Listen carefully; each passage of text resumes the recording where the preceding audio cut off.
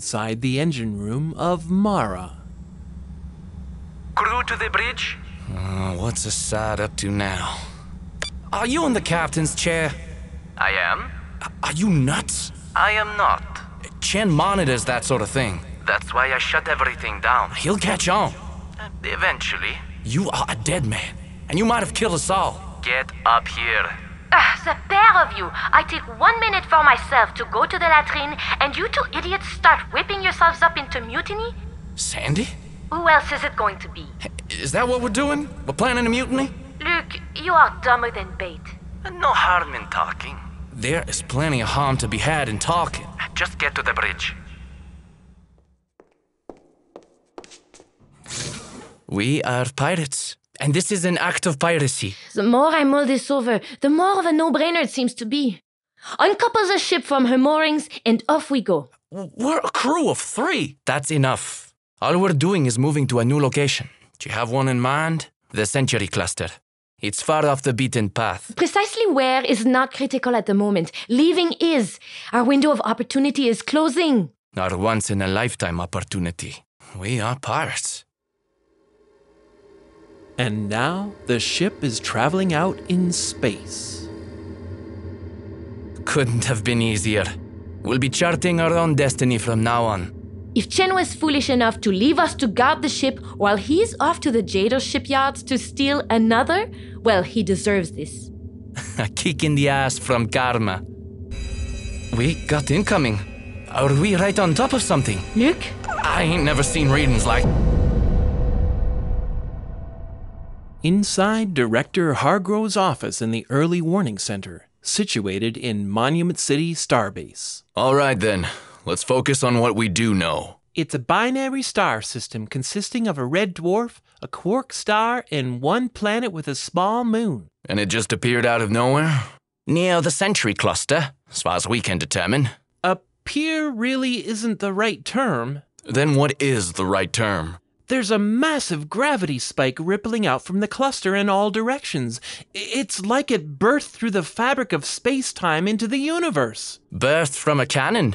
The system is moving at a pretty good clip towards the denser regions of the galaxy. And flying under its own steam. What is that strange thing? How does that even be? Unpack that. Given its changing trajectory, it has to be. An entire system is some kind of ship? We are witnessing some significant gravitational events.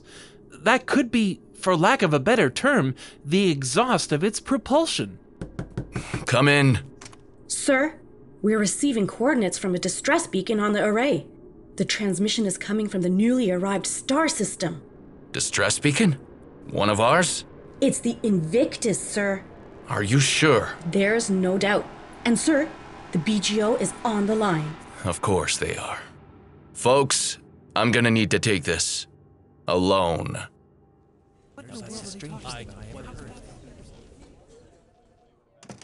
Director Hargrove? Hello, Director. We seem to have a bit of a situation.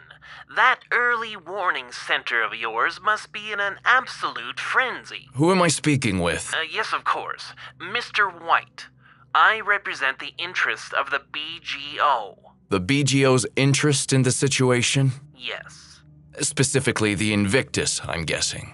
Yes, specifically that part. And what about the binary solar system currently ripping into the galaxy? Not an area that's really in the BGO wheelhouse.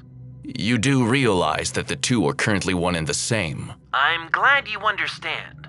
It makes it so much easier to inform you that you are now on the Emergency Measures Task Force.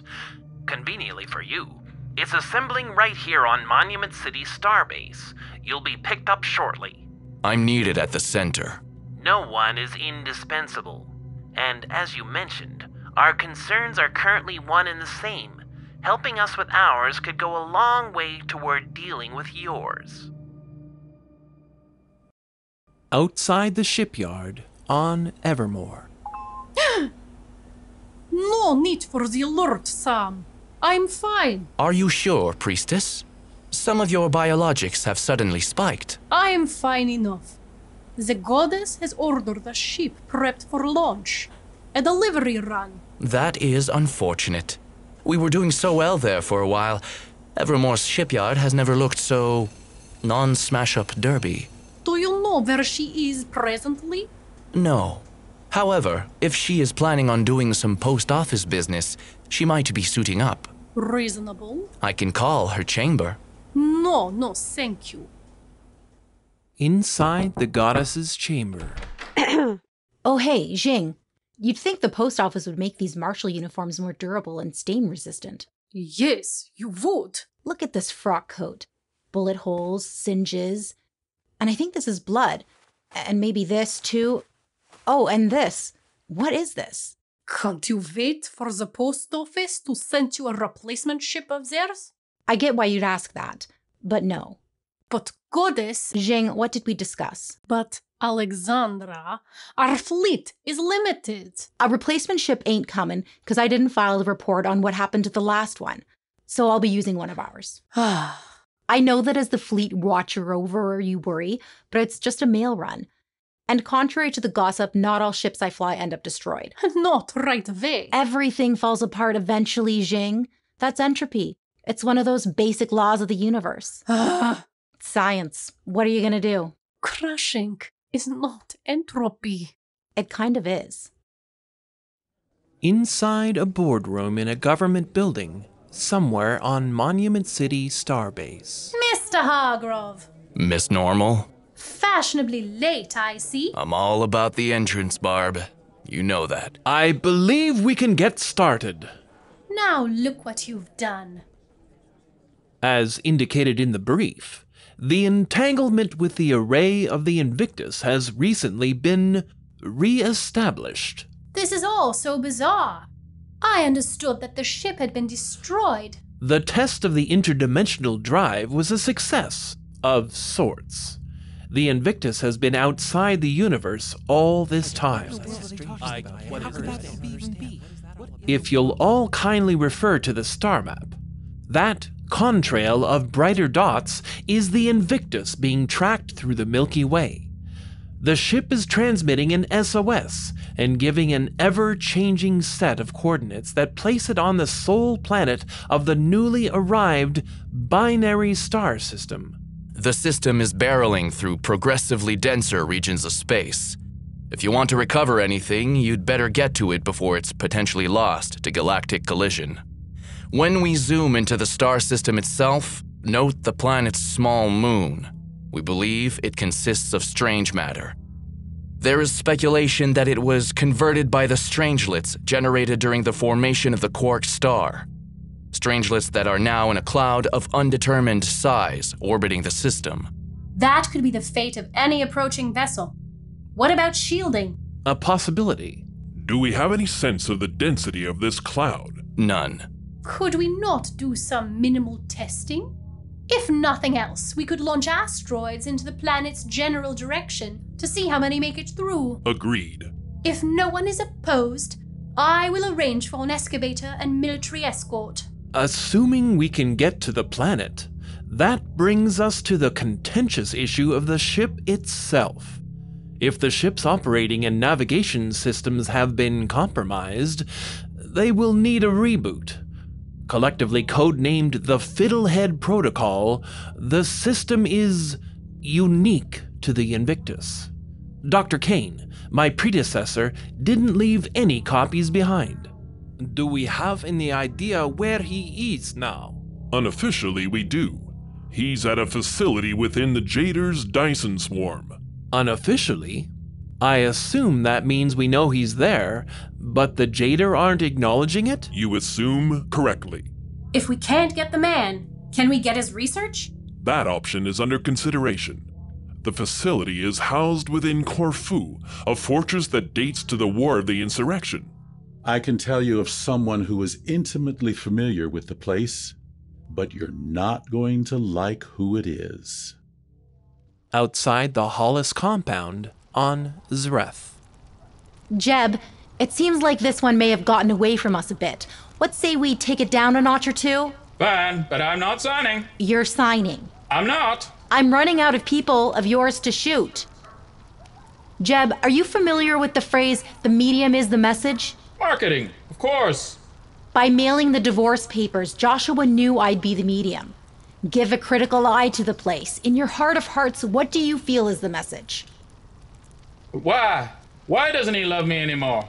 Well, now, if I had to guess, the harsh truth of the matter is that you can be an asshole. I know. I'm coming in. Huh. I'm gonna take this. Hey, Captain, what's up? I have a Mr. Bronson Rice on the line with me. He is calling on behalf of an emergency measures task force. Did you say Bronson Rice? It's a matter of galactic security. Put him through. Go ahead, Mr. Rice. Hey, hard ass. Bronson Rice? Bobo Rice? Yes, ma'am. It's been a while. That it has. Where are you calling from? It looks like a dinner party for people who can't get invited to dinner parties. It's an emergency task force. Oh, one of those. Explains the faces. Hey, you get yourself banged up recently? No opportunity to. Right, you got a big boy job at the Bureau of Galactic Ownership. Oversight. Yes, ma'am. I'm with the BGO. Desk jockey, probably best. Probably. The central government needs your services again. We need to get into Corfu. Corfu? I'm still a little ticked about the medal. That was a lifetime ago. A lifetime means different things to different people. True enough. So, just into? And out of. That's the premium part. You need to return to the post office to pick up your badge before you're reinstated. Reinstated? I didn't know that I was uninstated. Suspended. That sounds familiar. Where are you right now? The Hollis compound on Zreth, teeing up another teachable moment. You didn't do any post office work during your suspension, did you? You asking or telling? Asking. Some. You know, delivering, law enforcing. Emphasis on enforcing. Fine, let's do this. It's for the best. You're gonna arrest me now? For? Shooting at you. Did you? You're alright. I'm a softy in matters of the heart. I can meet you at Six Kill Station. Oh, right. Yeah, sure. You'll need to swing by the station to pick up your badge. While you're here, there are a few arrest reports that you need to complete. I'm up to date. You'll need to elaborate on three of them as to precisely what you mean by hijinks ensued. Pretty self explanatory. Perhaps, uh, given how pressing our situation is, all that can wait. Keep my badge warm, Captain. Call ended by recipient. I hate it when she's our only hope. Military forte notwithstanding, the woman won't have a clue what she's looking for. A mission specialist will accompany her. You sound as if you have someone in mind. I do. And she's here in Monument City. Inside the office of Dr. Ezra Rising on Corfu.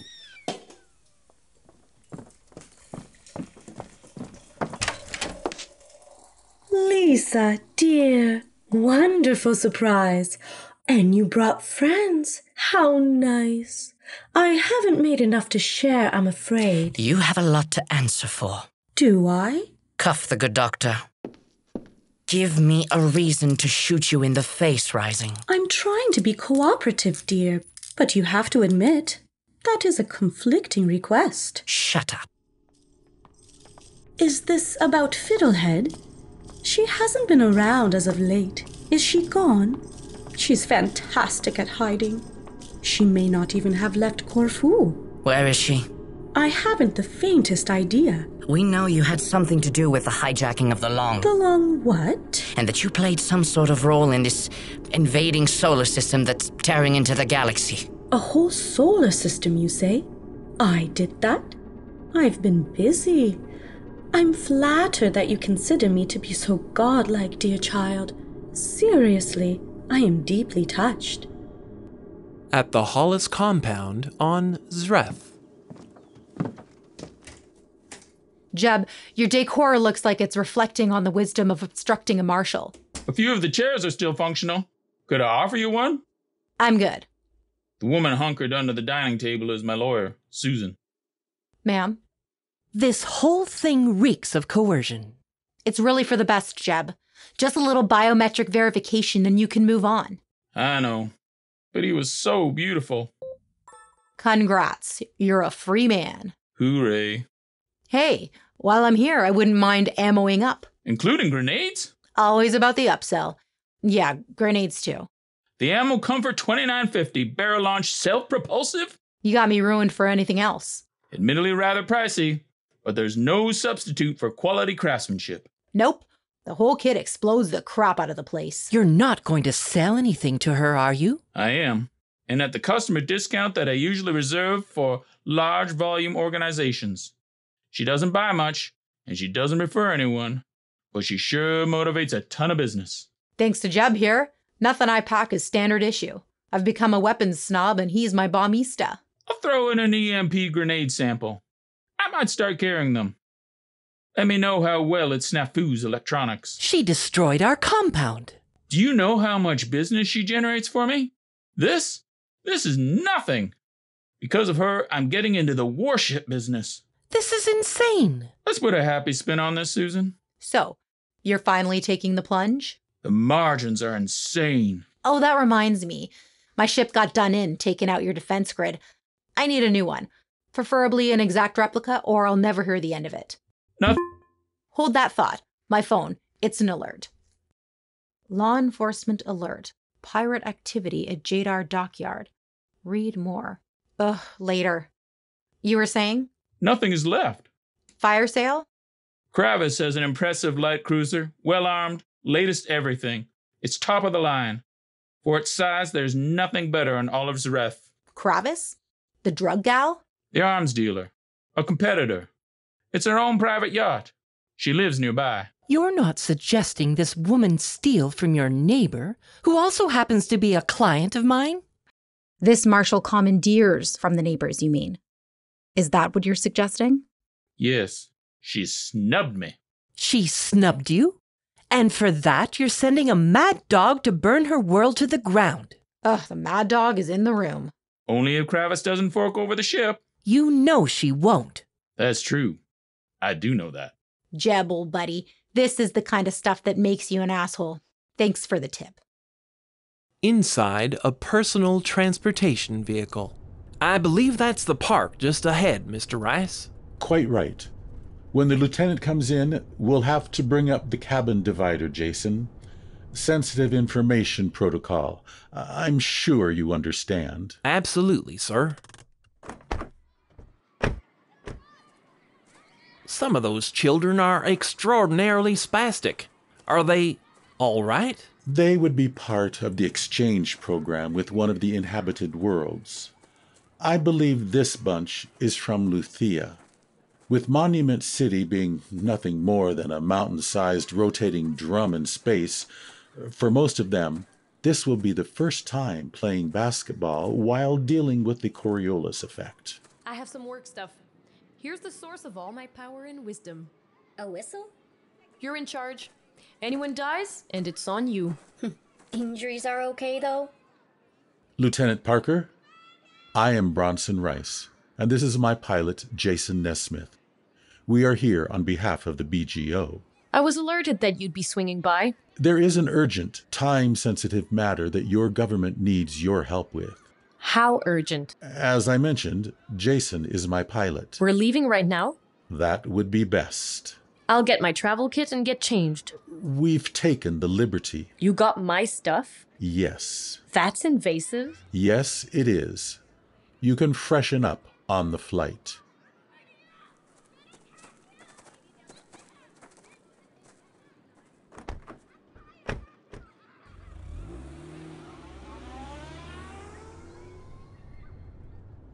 The city is like a massive English garden.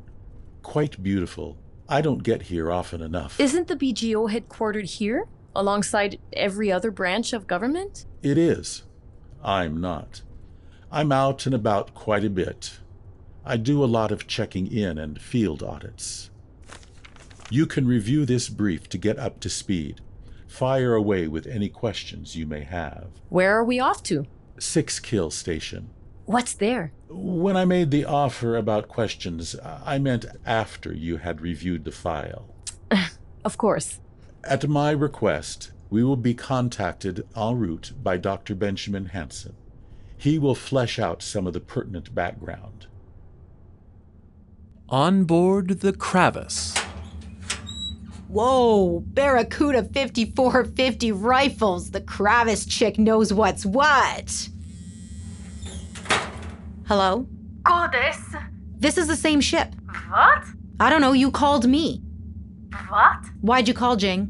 It seems that the prophecy of the Oracle has come to pass. What prophecy?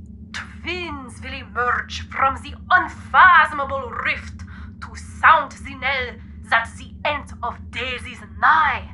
That sounds like something she'd say. So what happened? A binary star system suddenly emerged into this universe and is now hurtling through our region of the galaxy. Its surprisingly strong gravitational wake is wreaking havoc. It's a real mess out there. What's Tara saying about the prophecy? The great mother is with you. She senses that you are on the path to meeting a new priestess. Where are you traveling to? Six kill. Tara's not here.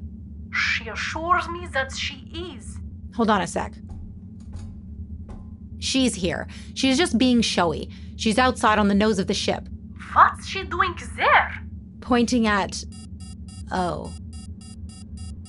Hello, new pilot. By your remark, I take it you've noticed the asteroid storm barreling toward us? I have. Excellent. Might I slip in a tiny suggestion? What's happening? Some of that havoc you've mentioned is coming my way. Inside the office of Commander Kufer. I have always thought it ingenious the way the cafeteria was converted to the base commander's office during the refit. Never quite got rid of that luncheon meat smell, though. Are you used to it? Dr. Ezra Rising, you and I are going to have a discussion about everything that you've been up to. You should ask to hear Lisa's account. While egregious, there is flattery in it. Hero worship, perhaps. Take a seat. I insist. If we don't make productive headway, Lisa will be doing the asking, and she will be doing it her way. Excellent. Our us time in the corridor was too short. She wanted to start with that, but I said it wouldn't be necessary because Dr. Rising is not an idiot. You are too kind, Commander. We have been generous with you, Doctor. You have paid for services rendered, Commander. Nothing more. We have also been your greatest ally. You'd not be so welcome elsewhere. You've been a customer, and yes, I would be. Just not openly. Alternatively, we could be your greatest enemy. Your choice. My greatest enemy? The Jader? Oh, little man, school's in.